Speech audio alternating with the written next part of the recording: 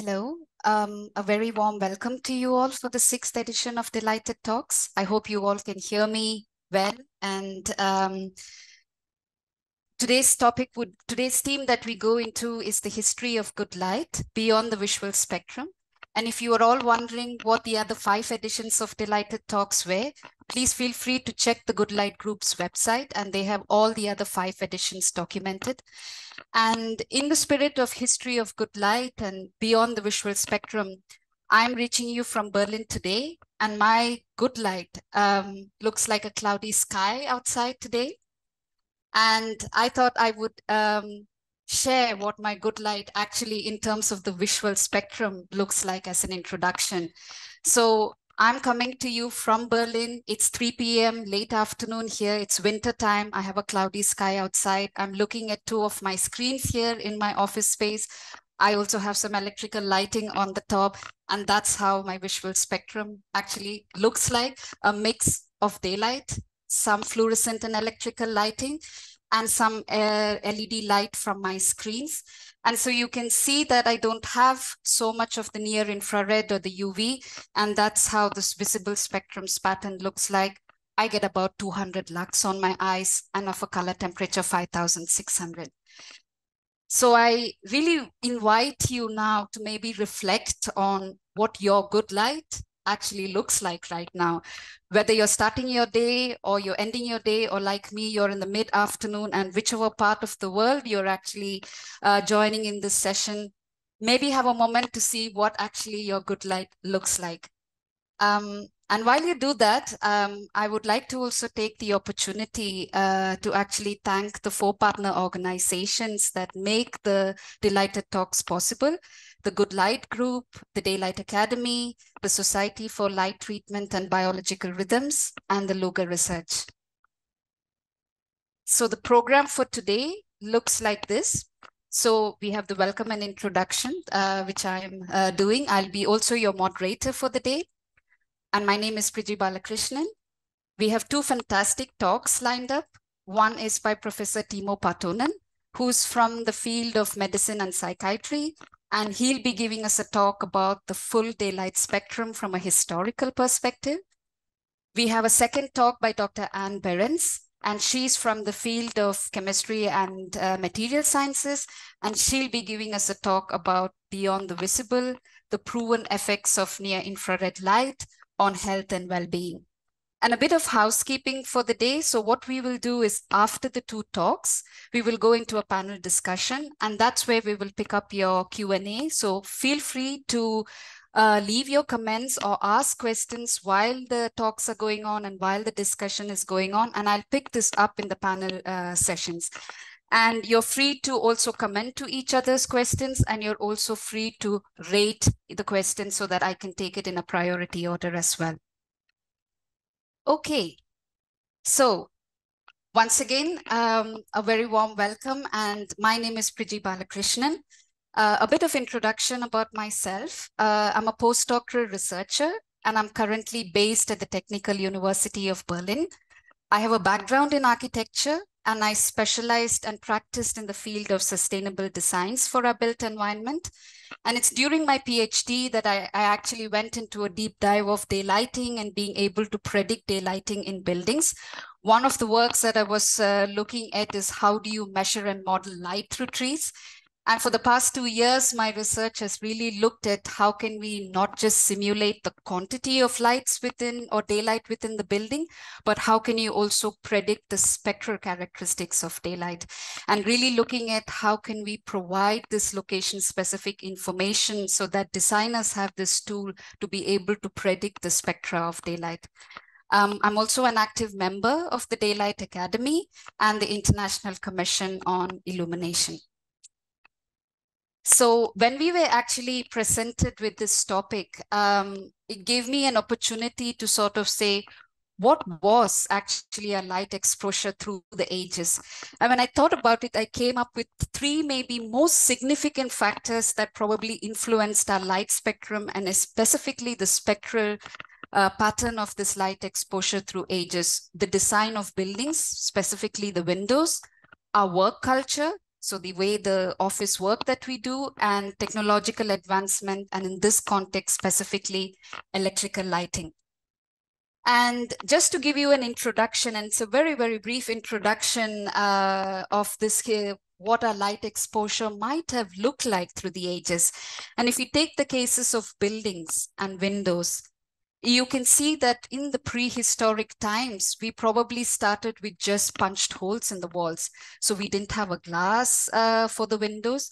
We really had uh, just small windows and probably security and safety were the most significant factors. So it wasn't even these holes were meant for some amount of daylight, but not really for daylight and working inside uh, with daylight. Predominantly the work was outside. We were working outside and our light exposure would have been daylight and fire. And when carpentry and the tools became more sophisticated, we probably had like wooden shutters to start to close these kind of punches in the holes for some safety and security. And around Renaissance, glass was always there, but of course it was a very, very expensive material. And you can see glass being used. This is Villa Rotunda that was built in Italy in the 16th century. And this was a quite a famous uh, Renaissance uh, house that was there. And you can see the usage of glass being or glass panes coming to these uh, uh, to these windows and architectural features, but only for the wealthy houses at that time. And really, uh, through the ages, you can also see that our windows got bigger uh, when we, we had bay windows with the Victorian houses in the 19th century and with the industrial revolution, uh, manufacturing glasses and being able to mass produce it would have really helped us have bigger windows. So predominantly during this time, if you think about it, our light exposure would have been daylight. We were working outside for most part of the time, significantly daylight, and then during the night, some form of light, either candlelight or kerosene lamps and only it's only towards actually the 19th century that we had um, electrical light uh, come into our domain. And you can see that from the mid to the late 19th century, when the commercialization of light bulbs came into being, that was actually the first also very significant and key factor where our length of working day increased. Um, and you can see that all through the 19th, 20th, and 21st century, which we are in now, um, our environments have been dictated with the capability of us being able to light spaces with electrical lighting. And you can see this New York Times office in the 1940s, this General Motors office uh, the 1950s to the 70s, cubicles being invented in the 1960s, and even my office space when I was based in Singapore in the 2017, and now my office space in 2023. So all this while, predominantly a light exposure has been, and I would say it's, it has been more dominantly electrical lighting than actually daylighting. And even if you look at the 21st century, we have uh, come a long way also to have tempered glass for our facades, and we can have really full glazing for our facades, but we also end up with problems where sometimes there's too much light for the kind of work that we do in front of screens, and shades come down in terms of cubicles. So all these really do impact the kind of spectral light exposure that we get on the eyes. And if you look at, it's not just about the electrical lighting, it's also if you look at the development of electrical lighting through time, uh, the kind of electrical lighting that you are under also impacts what kind of spectral light exposure you have. So we have the tungsten filament bulbs that came in early 1900s and incandescent lights, light exposure looks like that. So very low in the blue region and quite high in the red region, also going beyond the visible spectrum over here. And fluorescent lights, they, they were there even in the past, but they sort of take over these incandescent lights during the 1950s. There's an oil crisis happening somewhere in between. And really for energy efficiency, CFLs come into the market and 1980s. Even now in some of our homes, we do have fluorescent lighting. And that's how the visual spectra of uh, fluorescent light lighting looks like. So not so much of a continuous spectra, but you do have a lot of dips and peaks in some of uh, some of the blue, the green, and the red region. And this is uh, a white uh, fluorescent light.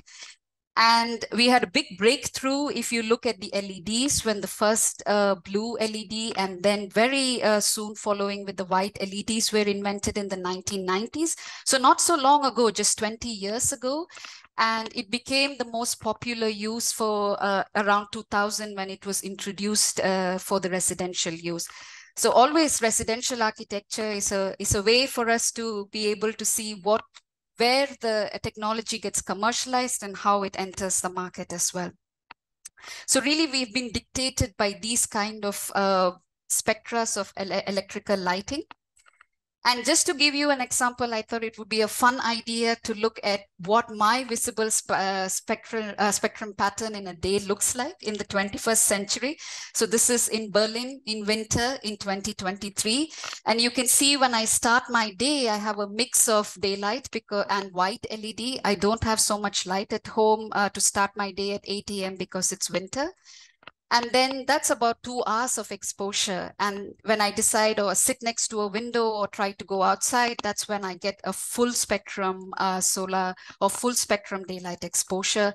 And that's about 20 minutes in my day. I come to the office, I start working, and I have a mix of this daylight and the uh, LED light uh, from my screen, and that's maybe two hours. And if I decide to take a walk during my lunch uh, and the walk has a lot of trees, then that's the pattern of uh, daylight spectrum that it looks like. Very soon, there is not so much light, um, exactly in a sort of situation that I'm uh, uh, presenting to you today is that I have a lot of light from my fluorescent electrical lighting in office and the screen LED. And by the time I walk home, um, I have a mixture of all these three different kinds of light, the high pressure sodium lamps that are the street lighting, incandescent lightings that are sometimes there in the corridors of residential spaces. And then when, when I go home, I have an LED that's a bit of a warm color and that's about four hours of exposure. And so if you look at it, even me who's so aware of uh, lighting in my space, I have about 25 minutes of a full uh, spectrum daylight exposure. And every other part of my day is very much dictated with where I am, what kind of electrical lighting I do have in my space, and what kind of windows I have in my space. And I just want to end with this last slide where I thought it would be very good because, um, so I said my, in the beginning of the slide that my good light actually looks like this. Um, it's very much uh, contained to the visible spectrum. I have almost nothing in the near infrared or the UV. But if I could actually change my desk and if I would be facing the window while I present to you guys, I would instantly get double the amount of light. I would get a huge peak in the near infrared light, still not so much UV. And if I were to decide and be so bold enough that I step outside and did this presentation completely outside the four rooms of my office, then I would have a full spectrum daylight, even though my light quantity doesn't increase, but I have the full uh, spectrum of that daylight. So that's really, um, and I think this is really gives you an overview of how different uh, visual spectrum uh, has been through the ages.